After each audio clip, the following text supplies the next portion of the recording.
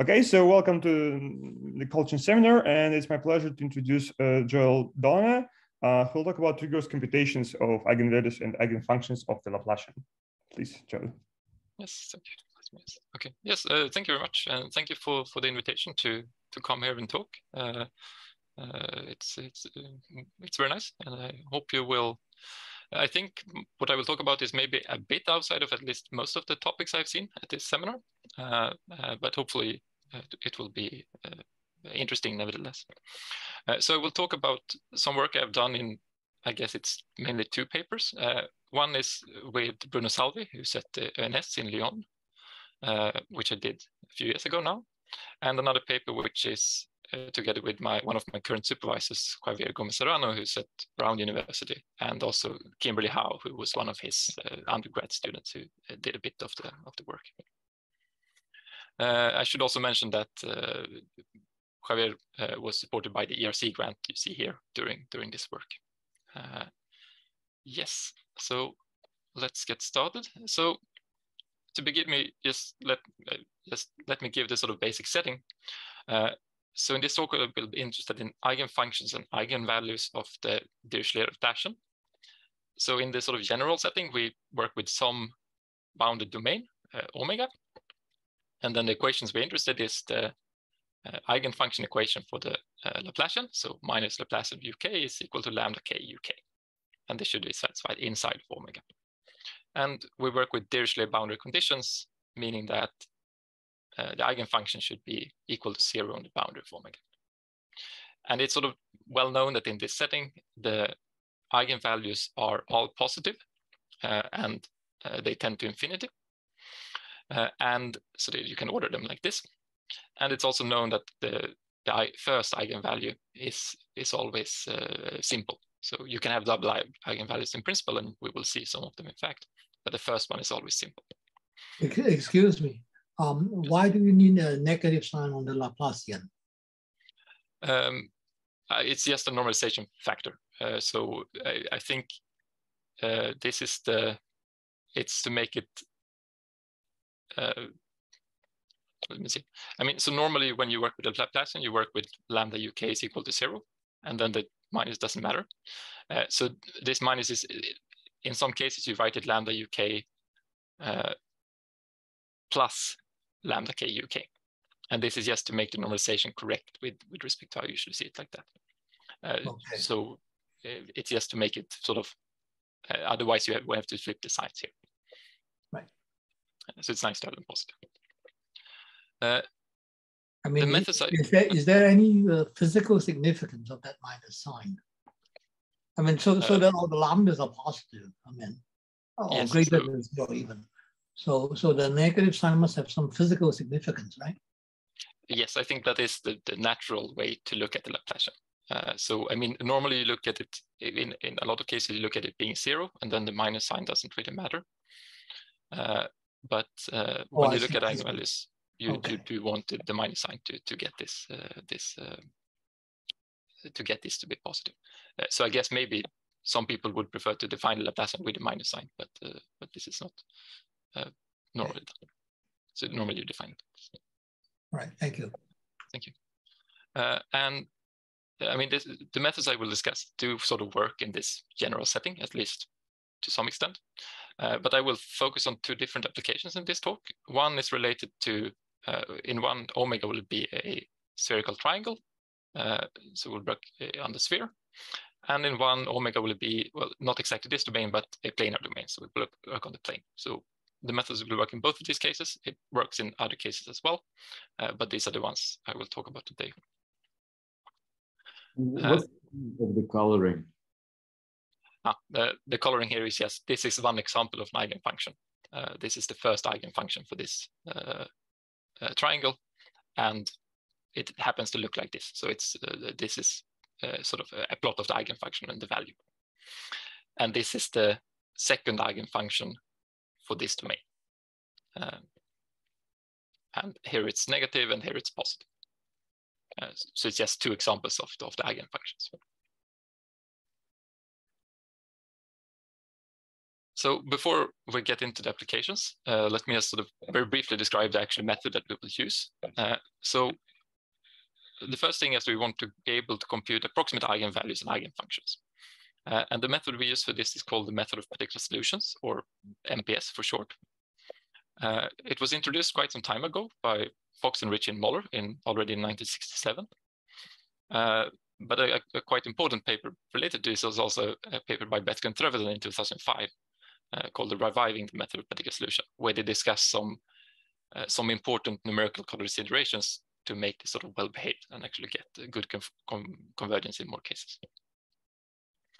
Uh, and what the method produces is an approximate eigenvalue eigenfunction pair. And with approximate in this case, I mean that the approximate eigenfunction, it satisfies the uh, differential equation exactly. So here there is no approximation.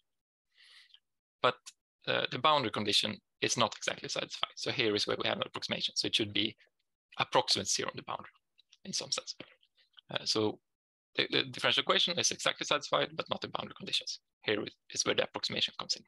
How do in this method? How do you? How does one um, store the function? How does one represent the function? Yes. So the idea is that you write this approximation as a linear combination of basis functions. Uh, and the important part with this basis function is that they should satisfy the differential equation, uh, but you have no conditions on the boundary, no, no boundary conditions at all for them. So if they satisfy the uh, differential equation, then so will their linear combination, since it's a linear differential equation. Uh, and the idea is to pick these coefficients and this linear combination so that the linear combination is approximately zero on the boundary. Uh, and so, so what you represent it as is these coefficients and then your choice of basis functions. And I will come back to this choice of basis functions later on because it's very important for the convergence. And somehow uh, what these papers do is give you one set of things you can work with, one set of basis functions that work well in many cases. Uh, and then there's been more papers later on which have introduced more, more basis functions that are also useful. Uh, so I will come back to this. Uh, so with the help of MPS, we can compute these approximate eigenvalues eigenfunctions. Uh, but, but as I said, we also want to have rigorous bounds in this case. We want to uh, be able to tell how far is this approximation from the, from the true thing. Uh, and from this, we have the following theorem, uh, which is from Moler and Payne, uh, about the same time as they introduced the MPS method from the beginning. So given an approximate eigenpair, as I, as I, as I mentioned in the previous slide, uh, the key thing to measure here is this value mu. So mu is given by just first there's some normalization, the area of the domain, you divide by the norm of the eigenfunctions. You can see this mostly as normalization factors. But the important part is, is the supremum on the boundary. So remember that uh, uh the approximate eigenfunction should be close to zero on the boundary. And the, the, sort of the, the more zero it is on the boundary, uh, the better of an approximation it is. Uh, and then mu will be small.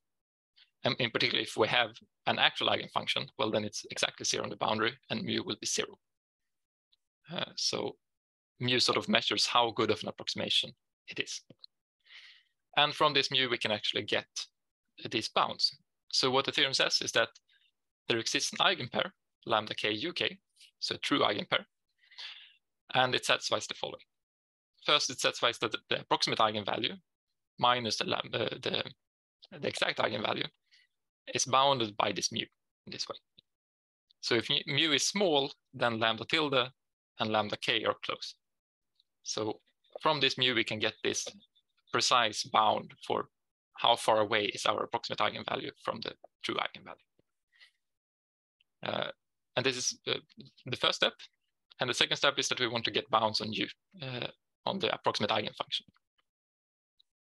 Uh, and they give some different bounds. You can get L L2 bounds, but in our case, we are most interested in the L infinity bounds. Uh, so what they say is that u2, uh, u tilde minus uk, uh, the L infinity bound for this basically, is given by this, uh, some a bit larger expression. And maybe the important thing here is the, well, it's the supremum on the boundary again, which already came up here. Then it's the mu comes up, and then we have two new things, which is g of x and alpha. Uh, g of x is this integral of the Green's function, so it depends on the domain and uh, on the, uh, the, Laplace equation. It's not so important in practice, at least not in our work, because we can just bound it by a constant. I will I will come back to this later. Uh, what is more important than this alpha? Uh, so this alpha is the distance from our approximate eigenfunction, or eigenvalue, to the not the nearest eigenvalue, but the next nearest. So uh, lambda tilde will in general be close to some lambda k, but this talks about the distance to the next nearest after that. So to get this L infinity bound, we need to not only understand our eigenvalue that we're looking at, the, the one we're approximating, but we need to have information about the nearby ones as well. Uh, so this is important. And uh, this actually complicates things a bit, and I will come back to this later again. May I ask about this? Yes. So if, if I had a double eigenvalue, as you mentioned, uh, yes. would, would this be like zero? Or, the, or sorry, would alpha be equal to mu? Uh, like this? No. So if you have a double eigenvalue, uh, then uh, so the, then you will count the next one nearest, not counting the double eigenvalue. Ah, okay. So it, it's still, for purpose of this theorem, it's still kind of like like simple. Yes. Okay. Yes. Okay. Good. Mm -hmm. uh, but numerically, it's complicated because numeric. I mean, if you only have numerics, it's it's usually hard to prove that it is a double eigenvalue. Uh, so uh, this does occur, and I will talk a bit about this. Uh, and then, uh, I mean, so now we have the method of computing the approximation, the MPS. We have so, this so, theorem. Hmm? So in in a theorem, uh, you should say there exists a k. Is that correct? Yes, yes. Uh, this holds for some k. Okay, thank you. Yeah. Uh, but we don't know which k, which is also important, and I will come back to this this later on again. Ah, all right. So we have this method for computing the approximation, the MPS. We have this theorem for computing the, uh, uh, which gives us information about the bounds. Uh, but we need to actually be able to compute these bounds as well. And to do this rigorously, we can't just, I mean, you, you cannot just use the standard numerical methods with floating points and uh, floating points because you will run into rounding errors and discretization errors. Uh, so to handle this, we uh, make use of interval arithmetic. I will be not talk so much about this because, uh, I mean, there's not enough time somehow. Uh, but if you have not encountered arithmetic before, or in this case, it's rather ball arithmetic, uh, it's a way to compute these things so that you can get uh, rigorous bounds on your on your results. So basically, in, if we have u2 tilde and we want to evaluate it at some point, say 1 over 10, 0, instead of evaluating at exactly this point, we evaluate it at some, some small ball which encloses this value. And well, 0 we can represent exactly. So we evaluate it on this ball. And with the help of this ball arithmetic, we can get an enclosure, which is again a ball. So we don't know what this exactly what this value is, but we know that this value for certain is enclosed in this interval. And since what we will need is to compute upper bounds of things in general, this is fine because then this interval, an upper bound for this interval gives us an upper bound of the value. Question. And, Question. Um, what, uh, what exactly, so how, how does discretization work here? Uh, so in how using interval arithmetic you can avoid uh, the associated errors. Uh, so in this example here, there's no discretization error. Uh, but for example, when we need to compute the maximum of the boundary, then there are discretization errors. But what you can do, I guess it's sort of shown in this picture. So here you have a function, which looks like this. And then you want to enclose this. And what you do is that you work with intervals all the time.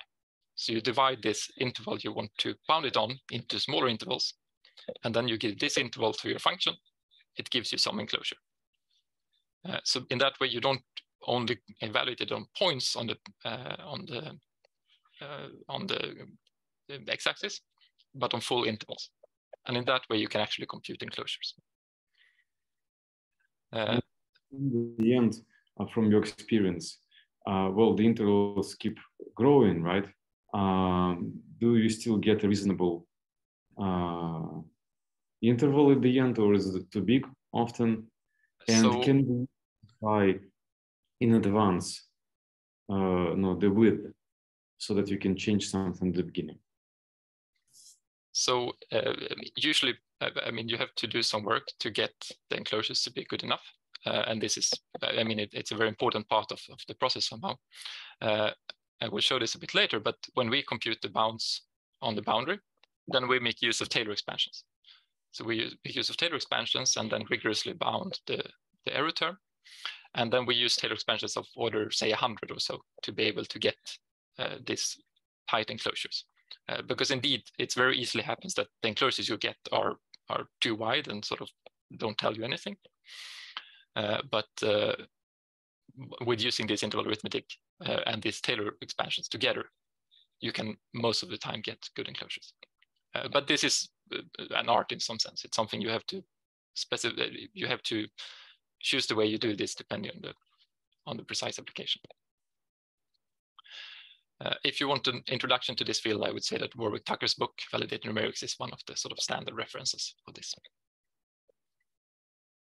Uh, yes, okay, let's get to the applications. So the first application, it's related to random walks. Uh, and the underlying goal in some sense is to understand the asymptotic behavior of discrete walks on, on n to the b. Uh, and in this case, we're interested in the, the number of walks of length n starting and ending at the origin. Uh, and then the steps you take in this random walk are given from some uh, from some uh, step set, which sort of determines the type of walk you have.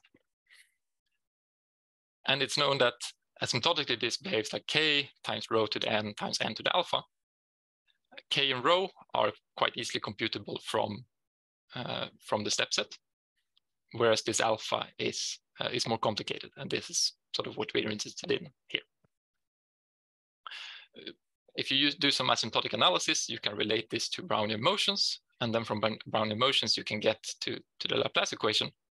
And you can show that this alpha is actually given related in this way to the first eigenvalue of some spherical triangle, which depends on your precise walk. Uh, so from the walk, you get a spherical triangle, you get the first eigenvalue, and this gives you alpha. And an important question is whether this alpha is rational or not. Uh, so, uh, because it has important implications for, for what this, uh, uh, the number of walks, how this can behave. Uh, and mask hmm? A good question. So alpha, which is expressed by a formula, and alpha on a ah, picture, ah, so, they're the same uh, or different? So uh, I have three alphas in the talk. They're all different. So I have okay. Uh, this alpha is not the same as this alpha. -huh. Uh, they just happen to be the same on the triangle. Ah, okay. And I also have an alpha in the theorem, which is also different from this alpha. Okay, okay, thank you. Uh, so that's a good question. Thank you. Uh, so the important question here is whether alpha is rational or not is one important question. And in the work we did here, we can't answer this question for certain. Uh, but what we try to do is look at, does it look like alpha is rational or not? So you can compute high precision uh, approximations and then look at this and see, okay, does it look like maybe alpha is rational or not? Uh, so it's sort of more experimental in some sense. We don't prove a theorem in the end, but we give some sort of experimental evidence that maybe it looks like this is rational or not rational. Uh, and then the second application uh, is related to Payne's conjecture. Uh, and in this case, our work is not only experimental, but, but the end result is a, is a theorem related to this. Uh, and Payne's conjecture, which uh, from 1967, it's asked, uh, it states that the nodal line of U2 on a bounded domain in R2 must touch the boundary. So we have a bounded domain in R2, this is fine. And then we have U2, so the second eigenfunction. And the nodal line is the zero set of the eigenfunction. Uh, so in this picture here, uh, we would have uh, that the nodal line is this white part here. So it would start at this point, go along this white part and end at this point here. Uh, so in, the nodal line does indeed always form a line. Uh, and at least in this case, it does touch the boundary in two cases. And the conjecture is about, does this always happen or not? And this has also been extended to a higher dimensional case later on. Uh, this is still open. This conjecture is still open in the general case, uh, but there has been some, some partial positive results. So it has been proved for convex domains, uh, and it has been proved for domains under various sort of symmetries or convexity assumptions. Uh, but uh, in 1987, there was a counterexample. Uh, so Hoffmann Ostenhof, Hoffmann Ostenhof, and Nadirashvili uh, constructed a counterexample to this. And the, the important part with the, their counterexample is that it's not simply connected. So the conjecture is still open in the general case, or uh, rather the conjecture is still open for simply connected domains.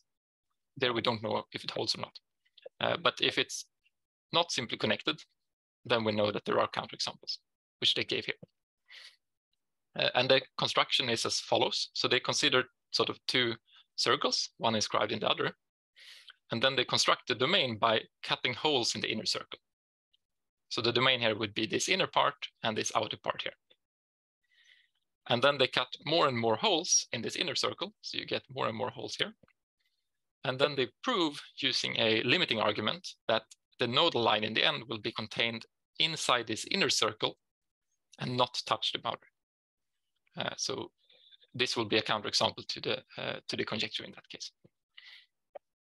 Uh, this has been extended to higher dimensions uh, as well. But uh, the important part is that their proof, their counterexample, does not give any lower, uh, sort of explicit lower bound and number of boundary components. So they just say that if you cut enough holes, then eventually the nodal line will be contained inside the inner uh, circle, but it doesn't say anything about how many holes you need to cut. Uh, and they mention in the, in the, paper that it's of delicate bound and of the order 10 to the 9. Uh, so a natural question then is, which was asked in the original paper, what is the smallest number and zero of boundary components for a counterexample? So we know that there's, if it, there's enough holes, then we have a counterexample. Uh, but what's the smallest number of holes we need? Uh, and zero equal to one would mean that you have a simply connected domain. And in, as I mentioned, it's still open in this case, but at least it's believed to be true. So uh, what is the small number of n zero? Can we go down to one or is it some other number? And here is where our contribution comes in. Uh, so uh, we prove the following theorem.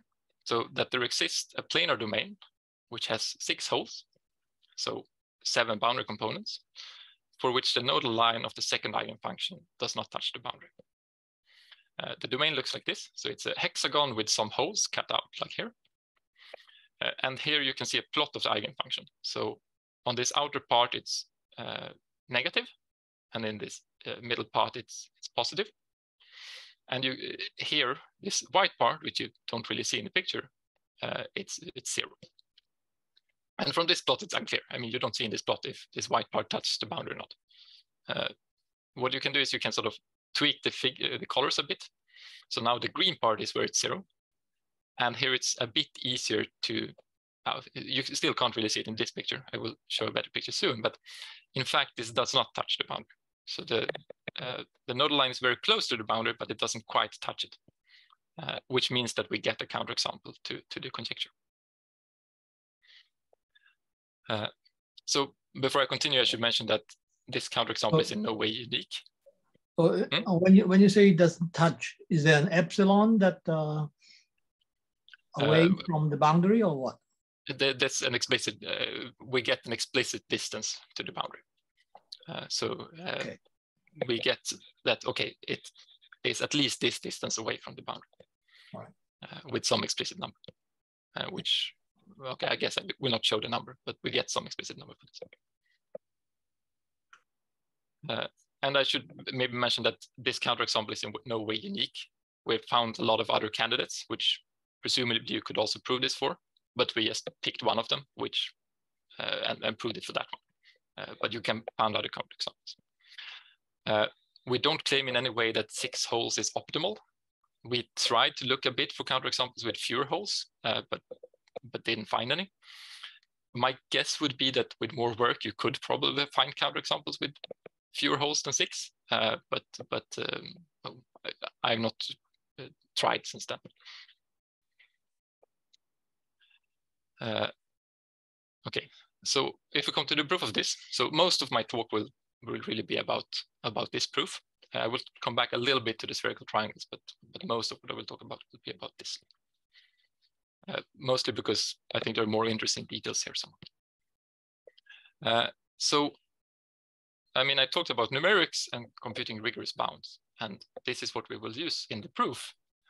So the question is, how can we reduce this theorem, proving this theorem, to something that we can check on the computer?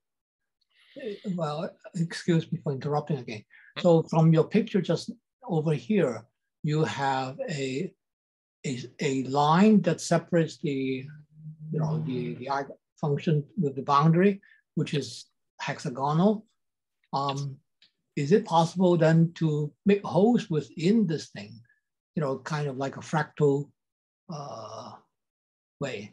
And um, what would it look like? I mean, I, I mean, just just occurs to my mind that there's something fractal in here. Um, uh, you, you mean if you would cut holes somehow in right. here? Right. I mean, you start with a hexagon, you cut some holes, right? So now you have another hexagon, you can also cut holes, and you can keep doing that, right? Uh, I, I don't know exactly, but I I don't think you would, at least if you cut holes here, you yeah. would get the second eigenfunction probably looks completely different. Uh, ah. Well, so well, you would, sure. I mean, the domain is different. Yes, I mean, it's exactly. smaller. It's smaller, uh, but, but it's the same uh, computation, isn't it? Um, what do you mean that? Uh, I mean, I mean your your calculation here with the epsilon depends on the size of the hexagon, of course. Ah, yes, yes, yes. Uh, but uh, that's the whole point. I mean, for the fractal. Uh, uh but I don't know what um, implication it means, but uh, yes, it sounds like an interesting question to look at. Yes, yes. I don't know exactly what would happen. It's a good question. Yeah. Okay. Sorry. Uh, so uh, the question is, how can we reduce this theorem to something that we can check on the computer? Uh, so the first step is that we use Courant's nodal line theorem, which is sort of a standard theorem in this field. And it tells us that there's at most two nodal domains for the second eigenfunction. So there's, uh, and in fact, it tells us that there's exactly two. Uh, uh, so there will be one part, uh, one subset of the domain where uh, the eigenfunction is negative or uh, positive here, and one part where it's negative.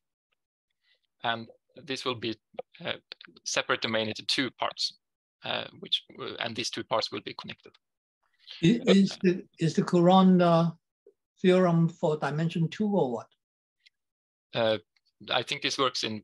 Uh, I, I, think it works in two dimensions on on manifolds as well. So, so it's uh, it works for eigenfunctions in two dimensions.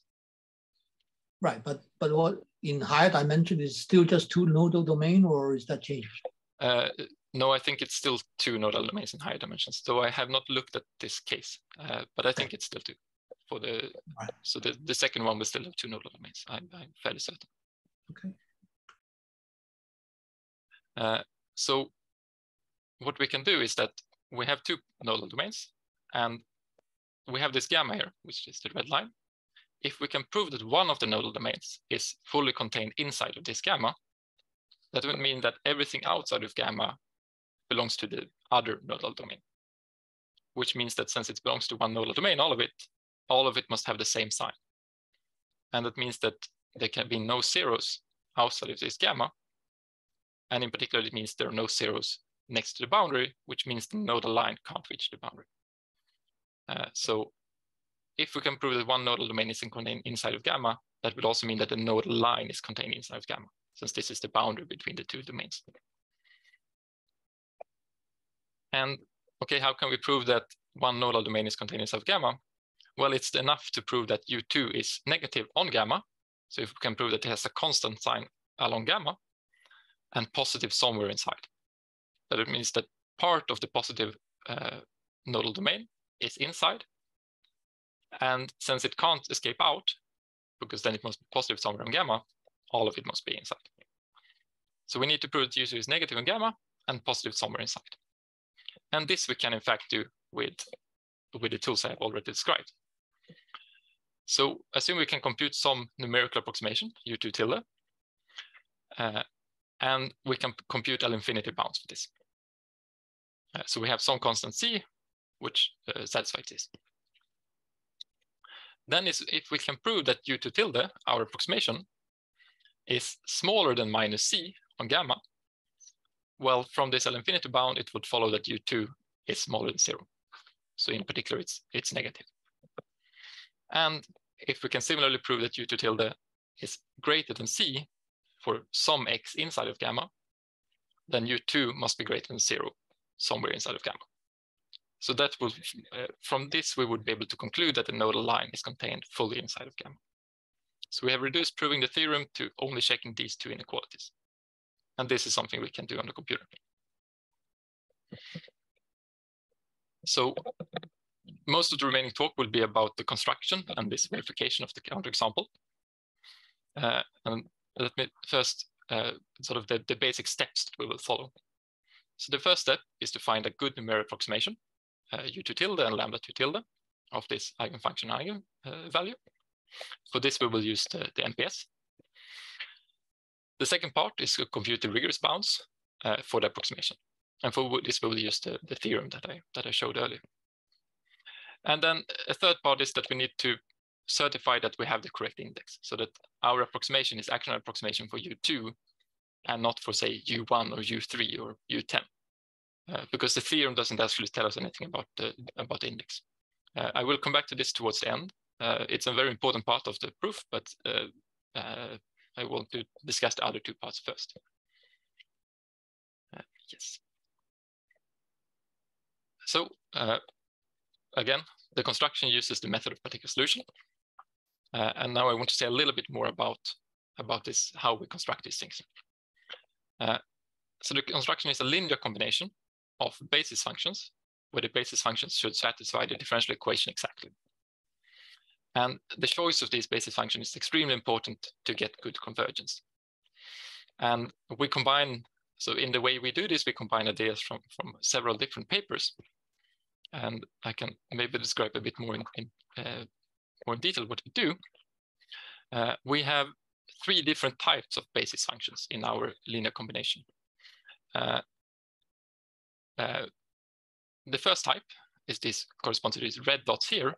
So they are placed at the vertices on the outside of the uh, on the domain. And the basis function here is given by this Bessel function times this sine term.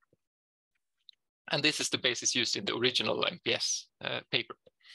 Uh, and they sort of they give a good approximation of how the eigenfunction is supposed to behave next to these vertices.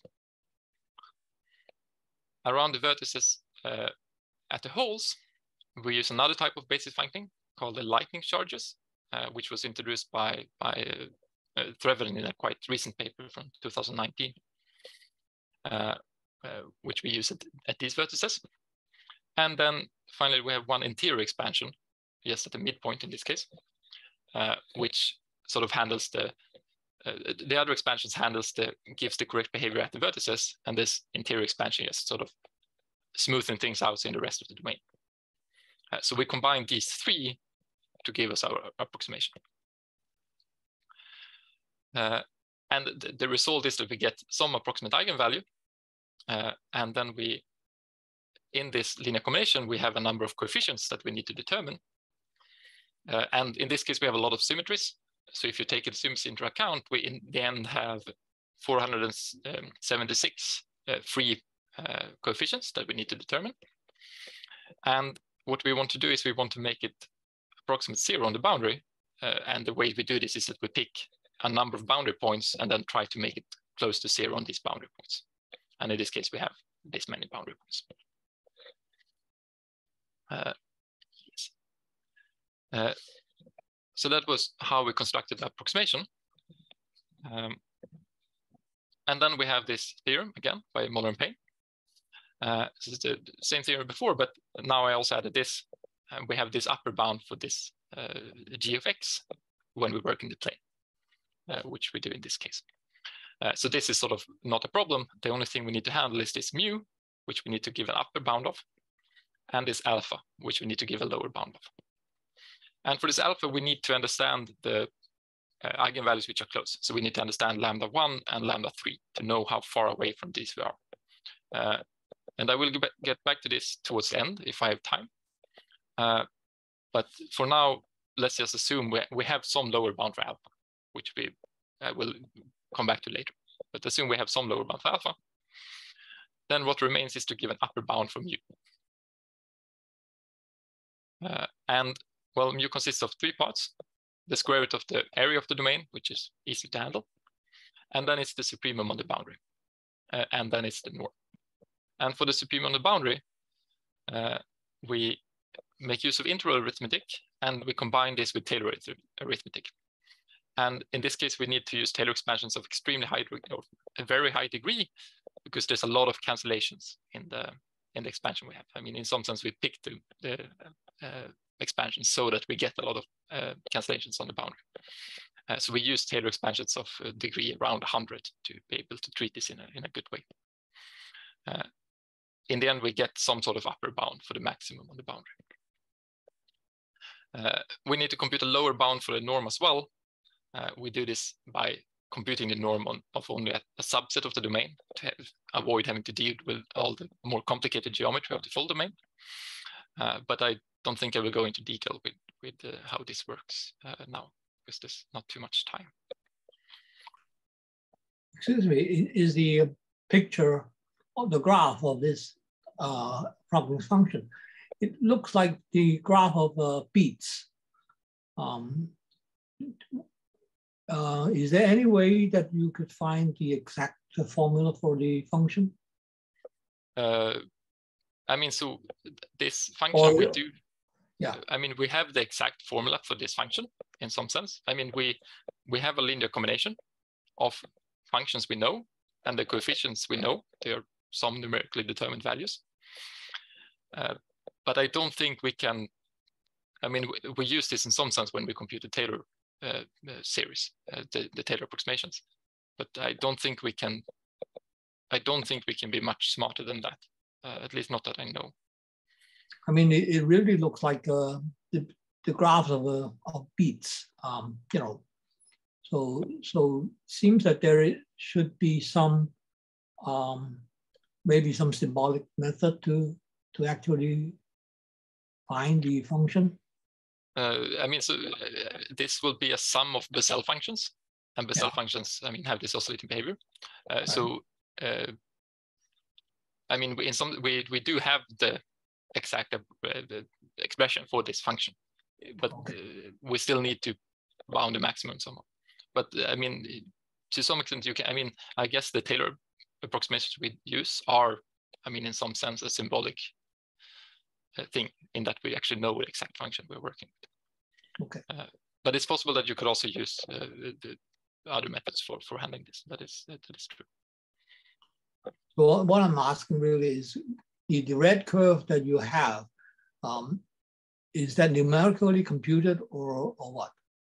Uh, so, I mean, in this plot, uh, the red curve is, uh, I've sort of, uh, yes, evaluated the function at a number of points and then we get the red curve. Of course, this is still an approximation because it's a plot. Uh, and the blue things is the enclosures we compute right, when we right. try to bound. Those are the interval bounds, right? Exactly, exactly. Okay. Uh, I think actually this picture is from the spherical triangles case, uh, uh but, uh, but, the idea is the same in the plane as well. Uh, okay. So with these uh, methods, then we can actually prove this theorem.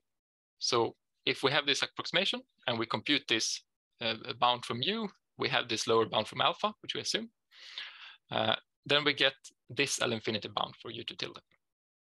So we get that the error is at, at most this large. And then we can prove that u2 tilde is smaller than or equal to this number on gamma. And since this is larger in absolute value than the L infinity bound, we get that U2 is also negative on gamma. Uh, similarly, we can evaluate U2 uh, tilde at a point inside, we get this enclosure. And since, well, th this value is uh, much larger than than the error ones we have, we get that uh, U2 is also positive on a point inside. And this was everything we needed to prove the theorem. We need to prove that it's uh, negative on gamma and positive somewhere inside. So from this, the theorem follows. Uh, what I've not explained yet, of course, is to how do we know that our U2 tilde actually corresponds to U2 and how do we get this lower bound for alpha? Um, yes, uh, so I wanted to talk a little bit about the spherical triangles, uh, but I'm realizing that uh, it's al already 40 minutes. Um, do you want me to, I, I, can talk a bit about this and maybe skip the end part. Uh, I'm not sure how, how uh, yeah, how, how much, uh, how do you estimate the, the, the time about for spherical triangles? Uh, for the spherical triangles, it will be two to four minutes, let's say. Okay, well, I, I guess we have five minutes for sure. Uh, so uh, I, guess I will be brief in the interest of time, but uh, I wanted to talk a little bit about the results for the spherical triangles. Uh, so in this case, we have a spherical. So we, we wanted to compute these eigenvalues for, for a, number of spherical triangles. Uh, and in this case, it's a spherical triangle with these angles. Uh, and my goal will be to sort of explain what these plots mean. And they also tell you a bit more about how this MPS method actually work. So if we begin with the plot to the left here, uh, we have our eigenvalue, it's the x-axis. And the y-axis here is uh, uh, what I have to explain what it is. So remember that the MPS works by, we look at a linear combination of our basis functions, and we try to make it small on the boundary. Uh, but the linear combination depends on lambda. So if we fix some lambda, then we can uh, try to pick the coefficients to make it small on the boundary. This is done using some, some linear algebra to minimize the L2 norm on, on, of our points we picked on the boundary. And this sigma of lambda is basically how small we can get it on the boundary by picking the coefficients in this way.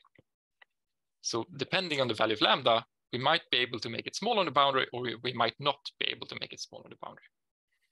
Uh, and sort of in general, we cannot make it very small on the boundary. But what happens is that for some values of lambda, we can make this linear combination very small on the boundary.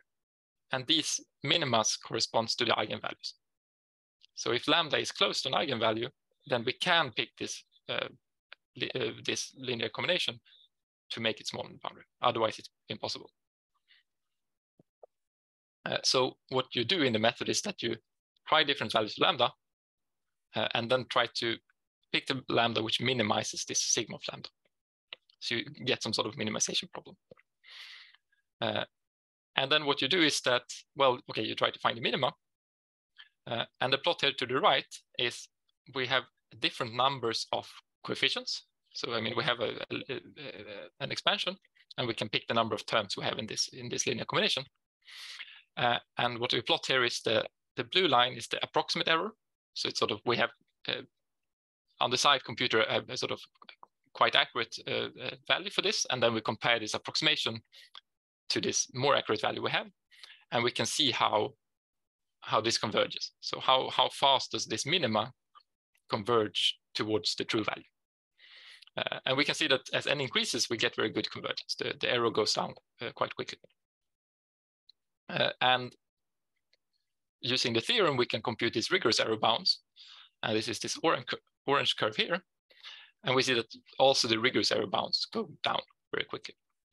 Uh, you see that they, they start to diverge a little bit here, but, but you still have very good convergence in the orange line. So by increasing n, we can get very small errors. And this is, I mean, already here we are uh, below machine precision in this case uh, but, but, we use high precision computations.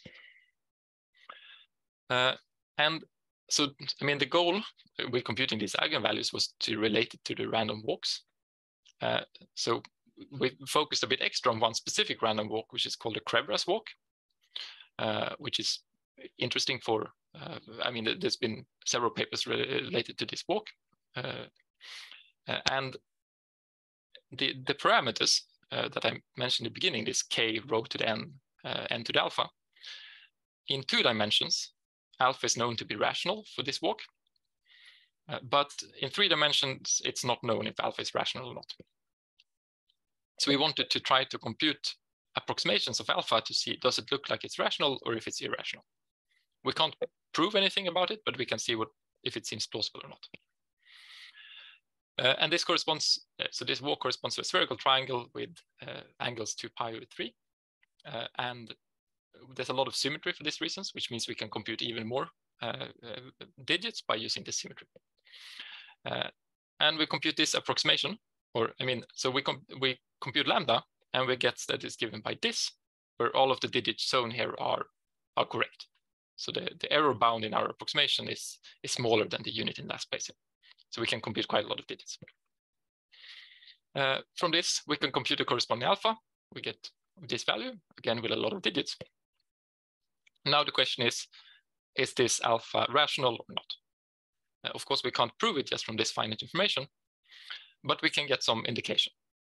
So what we can do is we can compute the continued fraction, uh, which is given by this here. And again, all of these numbers that are shown here are, are the true numbers, uh, but we, due to the errors we have, we, we can't come further than this. Uh, and from this continued fraction, you can compute that, okay, if alpha was rational, then the denominator would be at least this large, which is a fairly big number. Uh, and compared to the 2D case where I think it's like two over three or something like that. I, I don't remember exactly, but it's like it's it's bounded by 10 for sure. It, it very much looks like it's irrational in this case. We don't have a proof, but at least if you wanted to prove something, you should probably try to prove that it's rational. Uh, uh, so this was the, the, sort of end result of this paper. Uh, and then I don't have much time, or I don't have any time. So we'll just skip all of these uh, discussions about index. Uh, if you have questions about it, I can, I can see if I can answer something. Uh, I wasn't just wanted to say, uh, since it was discussed a bit at the beginning, but uh, the code for, for both of these papers are written in Julia, and it uses ARB for the computations through the Nemo and the ARB library. And if you're interested, you can find the code for both papers on my GitHub. Uh, the, the first one actually has a bit of a nicer presentation. Uh, the the the one for the spherical triangles is a bit more messy. So I, if you, if you should look at something, it's probably this one. Uh, and uh, with that, I guess uh, thank you very much. Thank you, Joel. So yeah, please questions. You can type them into chat or just unmute yourself and, and ask. Uh, I have a question. Uh, few slides ago, you showed um, how uh, your approximate solution was away from uh, the actual solution by a little bit, right? So you had the upper bound.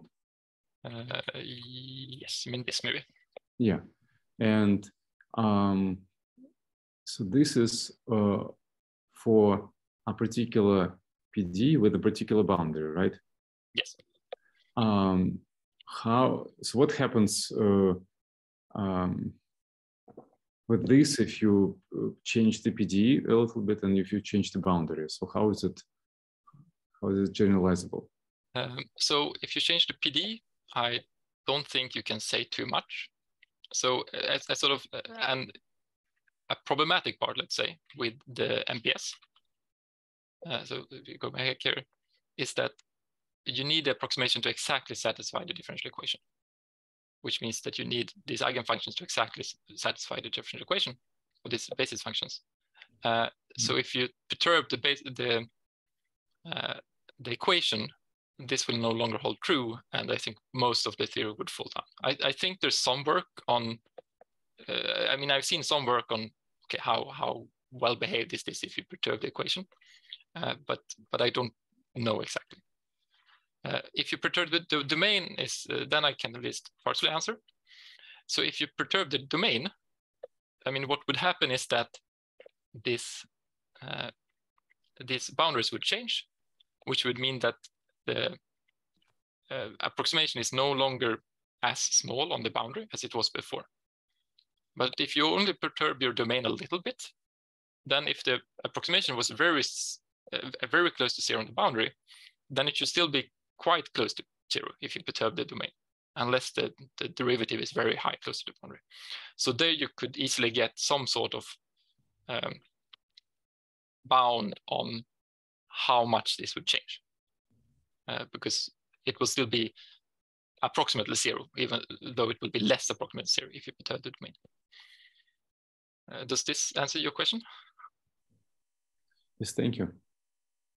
Yeah, but the, but I think the the whole problem here or or aim is to find a counterexample to to a conjecture. So there's no need to generalize counterexamples that much, right? No, in this case, we don't need it. That is true. Uh, so in this case, we just need to find some domain for which it works. Uh, but this could be interesting if you're looking for a family of domains, for example, which satisfy something. Then maybe you can prove it for, say, say you have, a, a, I don't know, a one-dimensional family of domains, and then you can do this for a number of points in this one-dimensional family, and then you could uh, extend the bounds you get by looking at, at this continuity in terms of the of how the domain changes. Right. Uh, so for other problems, it could be re relevant, but but in this case, it's not needed.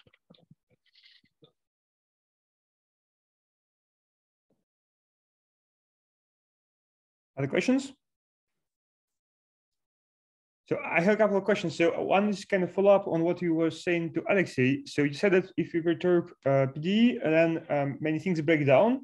But the like the, the whole idea of MPS, as you described, like sounds to work for any linear linear PD, right? So for any linear PD, if you have like eigenfunctions, you can try to sum them up to uh, cancel on the boundary. Like what's yes. what's so special about Laplacian in this case? So the, the, the important thing is that we need to know some functions which solve the equation but not the boundary conditions. And for the Laplacian, we know this. It's the Bessel functions with this sine or cosine. And for some other specific kinds of equation, you can do this as well. So for example, if you just look at the Laplace equation without the eigenfunctions, we also know what they look like. Uh, and, and there's certain other specific types of equations where we have these basic functions and we know them. Uh, but if you have some sort of arbitrary equation, then even finding something which satisfies the, the, the PDE, but not the boundary equations could be hard. Yeah, sure, sure. Uh, but but I mean there is stability in the PD as well. So I, I, think there are some work, but I haven't used it, so I haven't read up too much on it. Uh, there are some theorems which tells you what happens if you have approximation in both of these. Mm. So if you have an approximate equal, uh, if this only holds approximately and this only holds approximately, you can still get some sort of bounds, but they will be worse. And I think they are also more complicated to compute. Uh, I haven't used them, so I, I don't know the details. Uh-huh. In the in the basic functions here, uh, yep. with different k's, how do you make sure that the lambda tutor doesn't depend on k? Um, so uh, what you do is you fix one lambda. Uh, so in, in I can show maybe in our case, it's the simplest. Um, but you don't know lambda, right? I mean, you don't know lambda tutor. You don't know. Uh, what what you do is you have these basis functions, and they will basically take lambda as a parameter. Ah. Uh, so in our case, we have these basis functions where square root of lambda comes in. So we can, for any oh, choice of lambda, see, we can. So so in the example, you can do that. You're saying. And. I think in all cases where you can find these, but, but in a gen, as a general method, uh, you don't know that uh, that that the uh, basic function phi sub k, I mean the eigenvalues don't depend on k. But in uh, a, in a specific domain and specific function that you use to construct this example, of course, then you can you you in fact know lambda, right? Yes. yes. Yeah. Yes. But in general, uh, you don't, right? No. So and, and, and that sort of why, in general, how this MK MPS method. Um, oh, I see. So so in the MPS method, you actually so it, it's only used for counter examples. The MPS. Uh, I mean, so it's used for when you want to compute solutions to the Laplace equations numerically. Right, but then in that case, how do you guarantee that, that the, the lambda tutor in that equation doesn't depend on k? Uh, so maybe what I should have done here is that usually your choice of basic function have a parameter lambda. ah, uh, okay. take lambda, sorry, uh, which take lambda a parameter. So in, in some right. sense, I mean, the lambda here is a parameter for this basis so, function. And the same is true for these. Uh, so uh, what maybe would have been a, a, better here is to call this phi k comma lambda tilde. Because the basis functions right. take a k, but but they also okay. take eigenvalue. All right. Okay. All right. And okay. and you somehow somehow you need them. Otherwise, you can't yeah. use this method. Right. Okay. Thanks.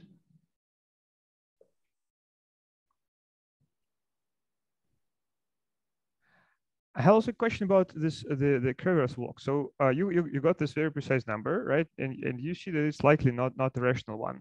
But I, I I, thought there are also algorithms which kind of try can try to guess you algebraic numbers and some other stuff. Like I guess if you take uh, such a thing and even put it into Wolfram Alpha, Wolfram Alpha will will try, will try to suggest you something. Did you try this? Um, I, we didn't try it for the paper, but I tried it later on a bit. So uh, I guess it's uh, Fredrik, who develops ARB, also has this calcium package, which mm -hmm. is quite new, uh, somewhat new, I guess. And it's, this has some functionality for trying to find algebraic equations for satisfying this.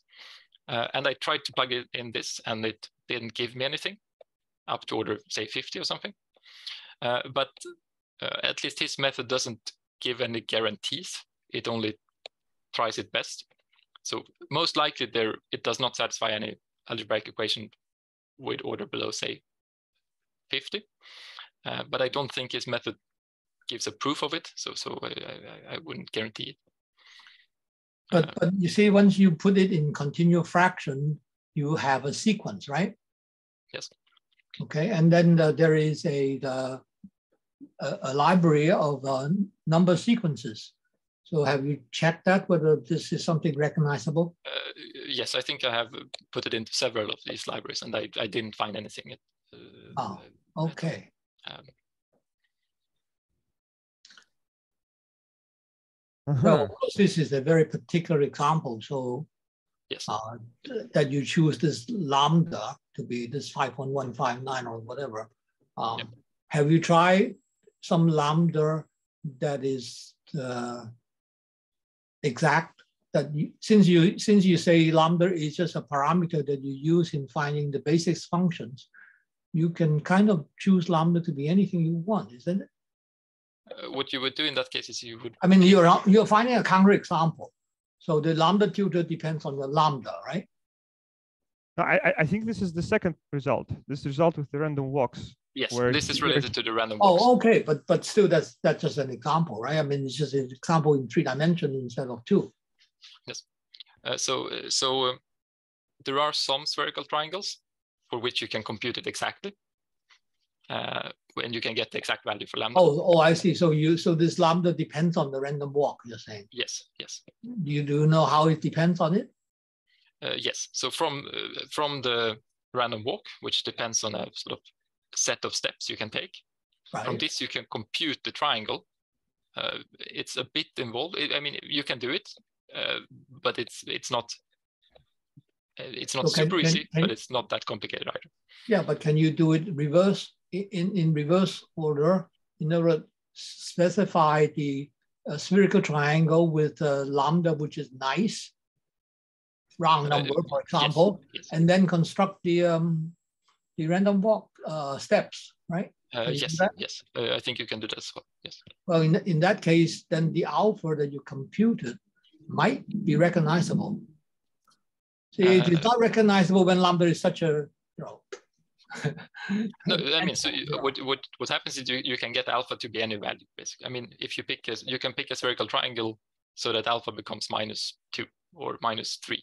I mean, so ah, it will just okay. depend on the on the triangle. Right and since it sort of continues, you can get it to be any value. Okay. So, so why do you, why do you, um,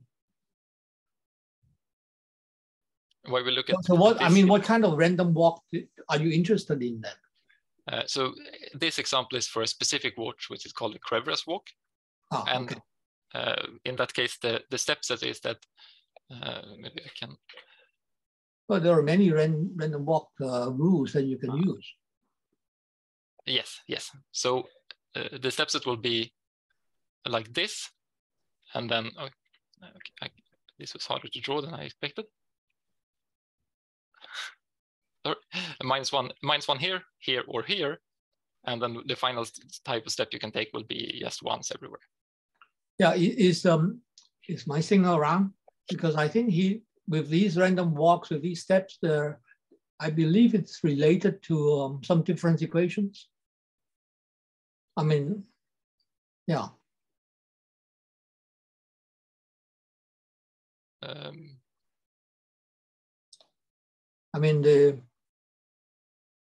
you know the random walks. Uh, I think he he gives a talk. I mean, I don't remember exactly the precise things, but um, you know, he, he actually classifies, I believe, all the random walks um, in terms of difference equations and things like that. Uh, so I mean, it, it, I mean the, the the sequence. So you you have a difference equation, and the solution is uh, uh, interpolation of uh, different uh,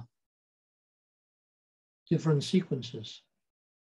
That could uh, very well be the case. I, I haven't worked so much on this random walk specifically. I mostly worked on the ones you reduce it to these eigenvalues. So I don't know so much of the details for the random walk. Ah, okay. Maybe you could uh, ask uh, Singer if he's not here today. Uh, but I know that this alpha, I think if this alpha is rational, then the sequence satisfy a, a, a, a differential equation. Okay. Uh, a difference equation with uh, some integer uh, polynomials, I think. -huh. If it's not rational, then this is not the case. If I, yeah. the case, I think. But I, am not an expert on that side, so I shouldn't say too much, I think.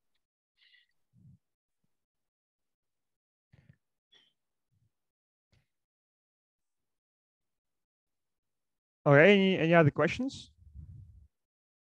Oh, yes, if you have a bit of time. oh, well, if you have a bit of questions. Uh, so my question was with your with your basis. So if we look at the error plot, it seems that you have an exponential convergence of the coefficients, or the error term at least. Even from this? Yeah, I think it, it's yeah it looks like you have an exponential like it looks like a straight line in a log plot so exponential yes i think it's root exponential uh, if i oh uh, like exponential of square root of n or something yes. like that yes so okay and so n is your total number of um, elements oh. in the in the basis yes and so first, is it like what you propose as a basis? Is it like a true basis, like it's like linearly independent and it, it spans all the space, the L2 space? Yes, uh, and for that you don't need. So you, you can pick. It's it's quite easy to pick basis functions so that it's linearly independent and they span all space. So you will get, in some sense, convergence in a lot of cases.